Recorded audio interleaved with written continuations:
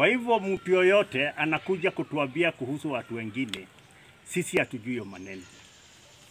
Already hapa tumechajua na tumecha kuko na, tuko na fununu ya kwamba na huenda nitaongea hiyo hapa, sina uoga. Mtu anaitwa William Ruto na mtu anaitwa Raila Odinga hawatakuwa kwa ballot, watasupport Musalia Mudavadi.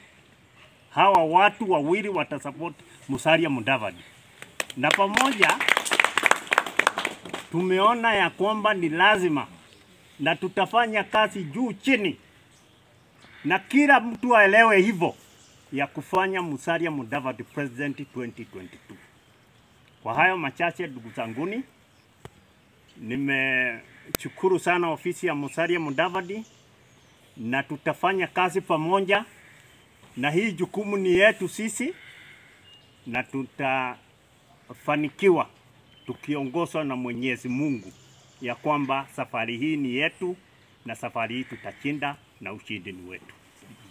Sisi ni wafuasi wa ANC wa chama cha kile kinaongozwa na Musalia Mudavadi cha ANC, na sisi ni wafuasi wa hiyo chama, na sisi ndio tutafanya hiyo chama ikuwe very strong, na sisi ndio tutakuwa chini, na sisi ndio tutaona ya kwamba chama hiyo imechukua uongozi wa nchi ya Kenya.